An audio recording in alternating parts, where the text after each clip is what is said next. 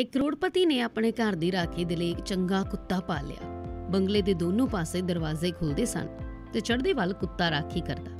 ਇੱਕ ਵਾਰ ਬੈਠੇ-ਬੈਠੇ ਖਿਆਲ ਆਇਆ ਕਿ ਛਿਪਦੇ ਵੱਲ ਕਿਉਂ ਨਾ ਪਾਲਤੂ ਸ਼ੇਰ ਰੱਖਿਆ ਜਾਵੇ। ਖੂਬ ਸੇਵਾ ਕੀਤੀ ਗਈ। ਸਮਾਂ ਬੀਤਿਆ, ਕੁੱਤੇ ਦਾ ਖਰਚਾ ਘੱਟ ਸੀ, ਪਰ ਉਹ ਚਿੜੀ ਨਹੀਂ ਸੀ ਫੜਕਣ ਦਿੰਦਾ। ਇਤੋਂ ਤੱਕ ਕਿ ਜੇ ਕੋਈ ਖੜਾਕ ਹੁੰਦਾ ਤੇ ਅਸਮਾਨ ਸਿਰ ਤੇ ਚੱਕ ਲੈਂਦਾ ਭੌਂਕ ਭੌਂਕ ਕੇ। ਉਧਰ ਸ਼ੇਰ ਦਾ ਖਰਚਾ ਕੁੱਤੇ ਨਾਲੋਂ ਕਈ ਗੁਣਾ ਜ਼ਿਆਦਾ, ਪਰ ਸਾਰਾ ਦਿਨ ਸੁੱਤਾ ਹੀ ਰਹਿੰਦਾ। ਉਹਨੂੰ ਤਾਂ ਖੜਾਕ ਦੀ ਵੀ ਕੋਈ ਪਰਵਾਹ ਨਾ ਹੁੰਦੀ।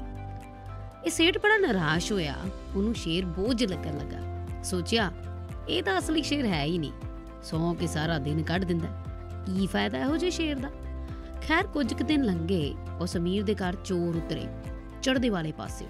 ਕੁੱਤੇ ਨੇ ਭੌਂਕਣ ਦੀ ਕੋਸ਼ਿਸ਼ ਕੀਤੀ। ਅਗਲੇ ਪਲ ਚੋਰਾਂ ਨੇ ਉਹਦੇ ਮੂਹਰੇ ਮਾਸ ਦਾ ਟੁਕੜਾ ਰੱਖ ਦਿੱਤਾ। ਕੁੱਤਾ ਸ਼ਾਂਤ ਹੋ ਕੇ ਉਹ ਮਾਸ ਖਾਣ ਲੱਗ ਗਿਆ। ਉਧਰ ਸ਼ੇਰ ਨੂੰ ਕੁਝ ਹਲਚਲ ਮਹਿਸੂਸ ਹੋਈ। ਕਿਸੇ ਬਗਾਨੇ ਦੀ ਆਮਦ ਦੀ ਗੰਧ ਆਈ।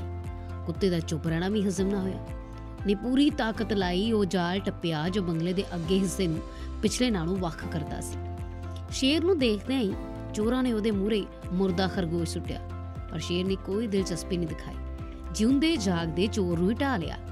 ਬਾਕੀ ਚੋਰ ਤਿੱਤਰ ਹੋ ਗਏ ਤੇ ਸ਼ੇਰ ਦੇ ਅੜਿੱਕੇ ਆਏ ਚੋਰ ਦੀਆਂ ਚੀਕਾਂ ਨੇ ਉਸ ਸ਼ਾਹੂਕਾਰ ਦੇ ਪੂਰੇ ਟੱਬਰ ਨੂੰ ਜਗਾਤਾ ਉਸ ਅਮੀਰ ਨੇ ਬਾਹਰ ਦੇਖਿਆ, ਉਹਦਾ ਹੋਣਹਾਰ ਕੁੱਤਾ ਹਾਲੇ ਵੀ ਉਸ ਮਾਸ ਦੇ ਵਿੱਚ ਰੁੱਝਿਆ ਹੋਇਆ ਸੀ ਤੇ ਨਲਾਇਕ ਹੋਣ ਵਾਲਾ ਸ਼ੇਰ ਉਹਦੇ ਦੁਸ਼ਮਣ ਦੀ ਹਿੱਕ ਪਾੜ ਚੁੱਕਾ ਸੀ। ਇਲਮ ਹੋ ਗਿਆ ਸੀ ਉਸ ਅਮੀਰ ਨੂੰ। ਜਿਨ੍ਹਾਂ ਦੇ ਨਿਸ਼ਾਨੇ ਉੱਚੇ ਹੋਣ, ਉਹ ਨਿੱਕੀਆਂ ਮੋਟੀਆਂ ਬਹਿਸਾਂ 'ਚ ਨਹੀਂ ਉਲਝਦੇ। ਜਿਨ੍ਹਾਂ ਨੂੰ ਖੁਦ ਦੀ ਕਾਬਲੀਅਤ ਪਤਾ ਹੋਵੇ, ਉਹ ਆਪਣੇ ਬਾਰੇ ਢੰਡੋਰਾ ਨਹੀਂ ਪਿੱਟਦੇ। ਬਸ ਕੁਝ ਕਰਨ 'ਚ ਯਕੀਨ ਕਰਦੇ ਨੇ। ਨਾ ਕਿ ਹਰਾਉਂਦੇ ਜਾਂਦੇ ਦੀ ਲੱਤ ਖਿੱਚਣ 'ਚ। ਬੁਰਕੀ ਦੇ ਭੁੱਖੇ ਕਦੇ ਵਫਾਦਾਰ ਨਹੀਂ ਹੁੰਦੇ। ਜਦੋਂ ਤੁਹਾਡੇ ਨਾਲੋਂ ਚੰਗੀ ਬੁਰਕੀ ਦੂਜੇ ਨੇ ਪਾਤੀ ਉਦਾਂ ਹੀ ਦੂਜੇ ਦੇ ਹੋ ਜਾਣਗੇ। ਸੋ ਹਰ ਚੁੱਪ ਰਹਿਣ ਵਾਲਾ ਕਮਜ਼ੋਰ ਨਹੀਂ ਹੁੰਦਾ। ਹੋ ਸਕਦਾ ਹੈ ਉਹ ਤਰਸ ਕਰਕੇ ਇਰਾਦਾ ਬਦਲ ਰਿਹਾ ਹੋਵੇ। ਕੁਝ ਵਕਤ ਲਈ ਟਿਕ ਬਹਿ ਜਾਣ ਵਾਲੇ ਵੇ ਲੜਨੀ ਹੁੰਦੇ।